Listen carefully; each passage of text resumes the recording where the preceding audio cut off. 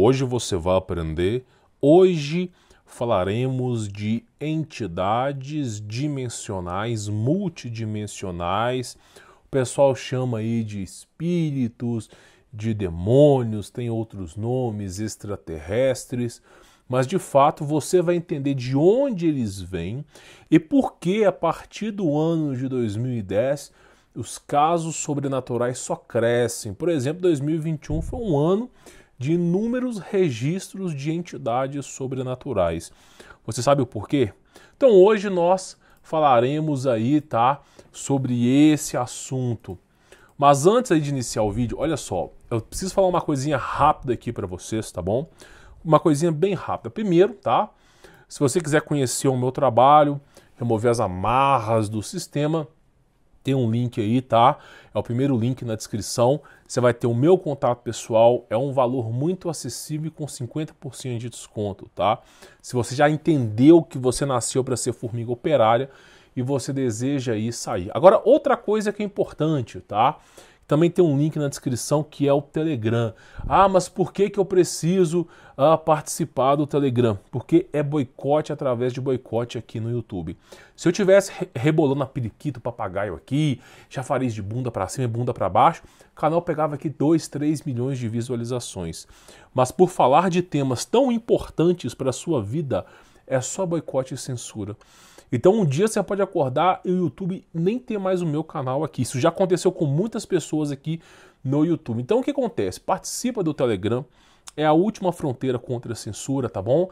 Eu já tô aí para dar um incentivo para você participar do Telegram, eu publico PDF. Por exemplo, a aula de hoje, nós temos um material de estudo inteiramente gratuito lá no Telegram. Então, por exemplo, aqui nós falamos sobre era pré-diluviana, as bases secretas na Antártida.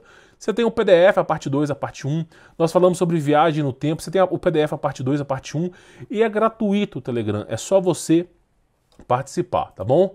Bom, falado disso, o que, que você precisa entender? De onde que vêm esses seres aí? Vamos chamá-los de mitológicos, de esses monstros aí. A Bíblia fala sobre os giburins, são seres que os homens desmaiarão, não conseguirão suportar o que eles irão ver. Então, de onde que vêm esses seres, tá?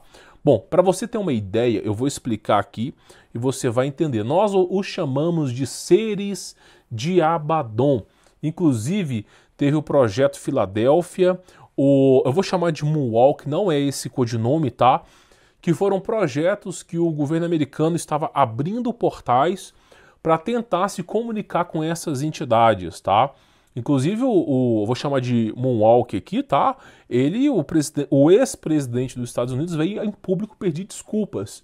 Porque, assim, a base militar foi fechada. Não sabemos o porquê, não tem indícios, mas se você procura, por exemplo, Stronger Fingers, né? Aquele, uh, aquele seriado na Netflix, na verdade o nome seria Moonwalk, tá? Tô falando no codinome aqui, mas eles não permitiram que fosse chamada assim. A base foi interditada, foi lacrada e não tem mais nenhuma operação vigente por lá. Você é proibido de entrar, mas me parece que deu muito errado lá e eles lacraram a base. Que delícia, né? Para você só chega Drauzio Varela falando bem do leite de caixinha com a marca da Simil por trás. Que delícias, né? Talvez as evoluções dos macacos veganos também sejam importantes para a sua vida. Então esses conteúdos ninguém fica sabendo, tá? Só que, olha só, o que é interessante você entender? Existe um local na Bíblia que é dito que vai os anjos, os anjos caídos serão julgados, né, os que, que, que deserdaram dos céus, afrontaram a ira de Deus e serão jogados no abismo. É dito que existe uma par particularidade chamada inferno, mas né, a Bíblia divide em três categorias. E uma delas não é na nossa dimensão, na nossa dimensão, porque é chamado de abadão, abismo, é como se fosse um buraco negro. Inclusive nos livros apócrifos, por exemplo, o livro de Enoque, Enoque ele vê de longe Abaddon assim, conversa com os anjos que estão o levando para o céu e pergunta: Mas que lugar que é esse? Que lugar terrível, muito pior do que o inferno. Ele falou: Essa aqui é a dimensão das trevas. É para lá que todos aqueles que são pecadores vão não é nem na nossa dimensão. E aí você tem na Bíblia os Gipurins, que são, ah, vamos dizer assim, é um exército peculiar de Deus que é utilizado quando a maldade se multiplica na Terra. Você tem os filmes aí como Cloverfield, Paradoxo de Cloverfield, Rua Cloverfield, não sei, que é baseado nos giburins, toda a estrutura baseada em giburins, tá? Que são os contos judaicos aí, seres horríveis que nem bombas nucleares dão caso. Então é desse local que vem as trevas. Você vê o tempo todo aí Vingadores, aqueles monstros emergiram de lá. E não tem Homem-Aranha e Batman, Superman e, e, e, e nada para te ajudar aqui não, meu irmão. É na, é, na, é na palavra de Deus que é a única orientação que você tem. Então, o que é importante eu falar aqui para você? Olha só, no meu trabalho é muito comum as pessoas que não me conhecem me chamarem de louco. O que mais acontece? Cara, é louco, exagerado, fanático, não sei o quê. E anos depois, essas mesmas pessoas, né, admitem o tanto que estavam erradas sobre esse assunto. Porque as pessoas não acreditam no mundo espiritual, até a merda bater na bunda. Quando bate na bunda, a pessoa tem uma experiência extracorpórea, ou assim, era para estar tá morto e estar tá vivo, aí a pessoa entende, ó, realmente o mundo espiritual existe, tá? Para quem já me conhece, sabe que venho falando sobre Abaddon, dimensão das trevas e como a elite mundial prepara o terreno para eles. Eu trouxe aqui um, um, um, documentário de um cara que é tipo assim, elite da elite da elite da, dessas seitas secretas, acreditando que se ele abrisse um portal para Abaddon, ele se tornaria um deus. Olha a loucura, os seres mais tenebrosos desse universo, tá? Que nem o diabo quer estar lá, simplesmente prometendo que se abrissem a dimensão deles para cá, né? Nos aproximássemos deles né, nós seríamos como deuses. Ah, vai esperando para tu ver, né? Então olha só, nós vivemos numa realidade 90% espiritual e 10% fractal, múltiplas dimensões físicas. Então, tudo que você vê, inclusive, é 1%. Ó. Em resumo, tudo que você enxerga é 1% e os outros 99% são desconhecidos até mesmo para a elite mundial. Nem os caras sabem o que estão fazendo. A verdade é essa. Nenhum desses caras que se acham marmanjões aí sabem de fato o que estão fazendo. Porque até mesmo no mundo espiritual, os demônios podem, podem se transmutar em luz, podem se transmutar em entes queridos, entes que já morreram, seres como se fossem deuses. Eles podem fazer isso, mas a origem de todos eles é sacrifícios como fonte energética, tá? Então, assim, nós só enxergamos 1%, somente 1%, tá? Tudo nessa existência, incluindo os multiversos, são legalismos, legalismos espirituais. Não existe só a Terra. Deus criou vários e vários planetas, vários e vários universos, tá? Eu quero que você amplie a sua mente para isso. Mas toda conjectura, toda existência é legalismo.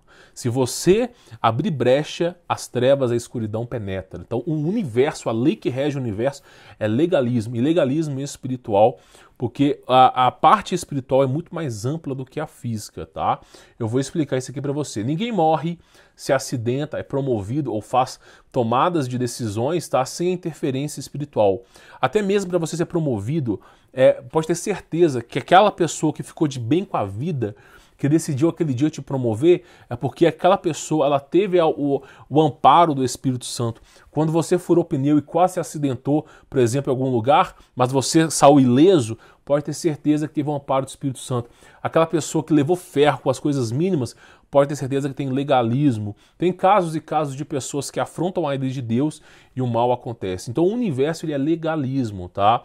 E aí é o mais importante, para aqueles que têm proteção e aliança com Deus, a maioria das suas escolhas são de entendimento de Deus. Mas para aqueles que não têm aliança, né, consecutivamente não têm a proteção de Deus, são influenciados pelas trevas, pois a, aonde, a existência, aonde existe ausência de luz, as trevas se sobrepõem. Não existe o isentão em cima do muro. Ou tem luz ou não tem luz. Não tem meio termo. É zero ou um, tá? Então, se você não tem o amparo e proteção de Deus, você está né, com brechas para o legalismo. Vai, vai, vai surgir emboscadas na sua vida o tempo todo, tá?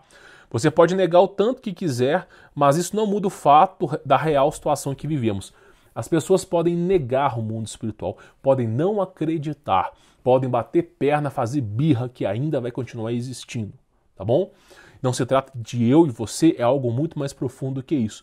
O espírito humano é sem dúvidas o bem mais valioso de todo o universo. Eu vou explicar por se tratar principalmente de ser eterno e ter semelhança parcial com Deus. Vós sois deuses. O ser humano foi feito em mais semelhança de Deus, Gênesis, Mateus. Uh, sendo a moeda mais valiosa para esses seres, visto que eles não são eternos e precisam constantemente de sacrifícios para existirem. Acontece que esses nefilins, esses anjos que deserdaram dos céus, eles criaram também os seus espíritos, que, que outra hora né, est estavam dentro do corpus dos gigantes, dos gloriosos da era pré-diluviana. Esses espíritos que não foram concebidos por Deus não têm o fator imortalidade, eles são mortais eles simplesmente podem sumir. E para que esses espíritos continuem permanecendo, permutando, eles precisam de fonte energética. E que melhor fonte energética que existe do que o espírito humano que é eterno, foi criado imagem e semelhança de Deus. Por isso que o diabo entrega bilhões e bilhões de riqueza em troca da alma humana, porque a alma humana é muito valiosa. E para onde esses seres vão, que é a dimensão da escuridão, Abaddon, que já foi falado por Isaías, por Jeremias, que o inferno é um, é um, um um organismo vivo que se expande e contrai. Então o Abaddon tem a sua fonte energética, ele precisa de algo ali para poder existir. E essa fonte energética é baseada em, puramente em sofrimento. Quando você cria dilacerações na alma, uma tortura muito grande na alma, a alma começa a liberar energia. Por isso que existem sacrifícios físicos e sacrifícios espirituais, que são aqueles que foram condenados ao inferno. E aí fica eternamente como uma bateria liberando energia para essas, essas dimensões. Por isso, a importância de você entender que é eterno o inferno, tá? Infelizmente não venho trazer boas notícias aqui para você. A escolha é sua de quem você quer seguir. Aí o pessoal fala assim: "Não, essas coisas não existem. Isso é um exagero". Vamos ver aqui um caso tá, que aconteceu de uma, de uma sogra que começou a, a filmar os próprios netos. Você vai entender o que, que aconteceu em 2021, tá? Olha só, em janeiro de 2021, a americana Tori Mackenzie, tá, de 41 anos, estava visitando a casa de seu filho mais velho, Ryan, que tem uma filha de dois anos, Amber, e um filho de sete meses. Durante sua visita, ela acreditava que sua câmera com sensor de movimento capturou um demônio com chifre. Com chifres, né? Uma vez. Quando Tori já tinha, já havia colocado sua neta para dormir, ela acidentalmente ouviu a garota dizer para alguém: "Vá embora". Então lá a, a, a, a avó foi colocar a neta para dormir, fechou a porta do quarto e a neta falando: "Vai embora, vai embora". E a avó não estava dentro do quarto, falei: "O que, que é isso? Como é que essa minha neta tá falando para ir embora? O que, que tem aí?", né? Aí falou, como se houvesse outra pessoa no quarto, exceto a garota e o bebê. A Taurus se preocupou com isso e instalou uma câmera de, de videovigilância no quarto das crianças, que detecta o movimento e tira fotos no momento do movimento. Então, aquelas câmeras que ficam estáticas e basta que você se movimente para tirar uma foto. Essas câmeras são muito úteis hein, tá? em casos de segurança, tá? Eu mesmo tenho essas câmeras aqui também. Então o que acontece? Elas vão pegando lá e muitas vezes essas câmeras elas, elas, são, elas filmam também em infravermelho. Elas precisam filmar também no, pleno, no completo breu. Então elas usam o infravermelho e aí está o problema, tá? E olha só, detecta o movimento, tira fotos né, do movimento. Poucos dias depois, Story decidiu ver o que a câmera havia gravado e ficou horrorizada ao ver uma figura esbranquiçada e translúcida perto da das camas das crianças. Ah, na cabeça da figura, dois chifres são claramente visíveis ah, e nos dedos com longas garras. A figura estava curvada ao lado da câmara. Um terrível demônio com chifres foi capturado por uma câmara perto da cama de uma criança. É, ela também escreveu que depois que viu, né, ela limpou a casa, né? Ah, vamos ver como que ela limpou a casa, queimando óleos aromáticos. Ah, que delícias, né? Que delícias. Né? Mas ao fazer isso encontrou outras anomalias. É o que eu digo, né? O Vaticano voltou a treinar padres para exorcismo. Não explicou o motivo, mas voltou a treinar padres para exorcismo. A partir de 2020 aí, é como era no passado, os padres, por exemplo, se você vê Van Helsing, aqueles caras com aquelas maletas lá, pois é, padre andava assim, andava armado. Hoje em dia não, hoje em dia tá muito Nutella. Então a, o Vaticano voltou a treinar os padres para exorcismo, exorcismo bruto, tá? Daqueles que as pessoas giram a cabeça. E aí simplesmente as pessoas, não, mas por que, que o, a, o Vaticano está fazendo isso, né? Porque eles sabem que está se aumentando o número de casos de eventos espirituais, como fora no passado. E aí simplesmente, olha só, qual foi a ideia da mulher? Eu vou orar o Salmo 91? Eu vou reunir pessoas na minha casa para nós podermos orar e expulsar a entidade? Vou proclamar o nome de Jesus? Vou usar o evangelho, a Bíblia? Não. Ah, vamos usar os óleos aromáticos. Eu vi no YouTube, num canal de, de não sei o que, eu não posso falar as palavras aqui, mas eu vi que simplesmente se eu usar óleos aromáticos, demônio. Aham, você acha que demônio tem medo de óleo, meu irmão? Você acha que tem medo de Você acha que tem, que tem medo de. Não tem. Né, não, um reino dividido não subsistirá. Então é, é evidente, é evidente que para combater as trevas somente com luz, não dá para combater as trevas com trevas. Não dá para chamar bruxo, não dá para chamar mago, não dá para usar óleo aromático, não dá para ficar usando incenso, não dá. As trevas se combate com luz, tá bom? Então, olha só, ela também escreveu que depois disso, né, a, casa começou a encontrar anomalias. O que, que anomalias? Copo girando, mesa mexendo. É isso aí. Tony, né, garante que ouviu a, a música saindo do nada quando abriu os armários. Então, abriu os armários, começava a escutar música e puxou as cortinas, né? Depois de tudo isso, o pai da criança mudou os berços para o seu quarto quando a câmera capturou as bolas voadoras, né? Chamados de orbes de luz, são demônios translúcidos que emitem sololuminescência. São esses seres que vivem em Hollow e precisam de iluminação de energia. Então o que acontece? O cara mudou para o quarto dele, né? Ah, vou mudar para o meu quarto, vamos colocar as câmeras aqui. Aí o que aconteceu? Começou a gravar essas entidades. Inclusive eu tenho, eu tenho filmagens com esses orbes de luz aí o tempo todo. Fica você, espere você profanar no pecado para você ver se eles não vêm te atentar. Tá? E aí, qual que é a conclusão que a gente chega disso? Eu sempre falo, não deixe o seu filho longe de você, não deixe um bebê, uma criança de 2, 3 anos sem dormir do seu lado. Aí os caras, não, acabou de nascer o filho, bota lá no outro quarto, sem a proteção e amparo de Deus. Delícia. Que povo é esse? Aí o bebê chora de madrugada, a mãe não sabe por quê. É, eu tô explicando aqui o porquê, tá? Trevas. Então, olha só, quando a câmera capturou as bolas voadoras, a princípio pensamos que fosse algum tipo de espíritos guardiões, como se existisse, né? Espíritos guardiões cuidando das crianças, mas não tinha ideia do que era na, na foto. Parece terrível, né? De acordo com Tony, ela mostrou essa foto para seus filhos mais novos e eles também estavam com medo dessas criaturas.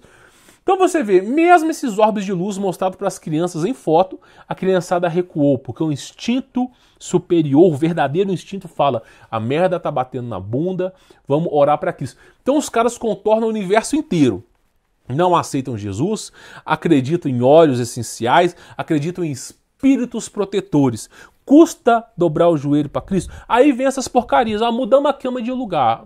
E só vai aparecendo esses seres. Só esses seres. Se você não combater trevas com luz, tá? Dois reinos não subsistirá. O demônio não vai acatar a ordem de um bruxo, tá? É, é muito mais fácil você expulsar pelo nome de Jesus. Então você vê, e aí a imagem, né? A imagem, apesar que tem uma imagem ali, mais ou menos para você ver esse ser que foi capturado. Aí o pessoal chega e fala assim: "Não, isso aí é fake news". É, é, tem que falar, tem que, tem que dar um alicerce aqui para falar que isso não é real. Não, isso aí, cara, isso aí é uma viagem. É, quantas pessoas, inclusive eu coloquei aqui sobre Free Fire, né? Garotada jogando Free Fire, né? Aquelas dancinhas lá de Zimbabwe, que é tudo demoníaco, colocando aqui manifestações demoníacas e a criançada, algumas crianças já apresentando sinais de possessão demoníaca. Não, mas tudo normal. Tô dizendo que o jogo dá, faz com que você fique endemoniado, não. Ele dá legalidade, legalismo, legalidade. Alguns vão, vão, vão sofrer, outros não. É assim que funciona o mundo espiritual. Legalismo. Depende do teu amparo e proteção espiritual, tá bom? Então você vê aí como que funcionam as coisas. Esse PDF vai estar disponível no Telegram. Eu espero que você entenda, tá? Participe, conheça meu trabalho, se inscreva. E a parte 2, eu tenho outro caso para você. Se você achou esse caso tenebroso, você não viu a parte 2. Porque a parte 2 eu vou mostrar para você né, o que acontece quando o legalismo é tão grande. Porque primeiro começam as aparições, pesadelos, possessões. O que acontece se esses eventos continuam e a pessoa não busca o amparo de Deus? O que, que você acha que acontece? Pois é, nós vamos ver na parte 2 aqui, você vai ficar arrepiado, tá bom? Bom, vou ficando por aqui, sou Humberto Volt, espero que você tenha entendido, tá? Se inscreva, ative as notificações, participe aí do Telegram e tem uns links aqui embaixo na descrição do vídeo, tá bom? Vou ficando por aqui, forte abraço.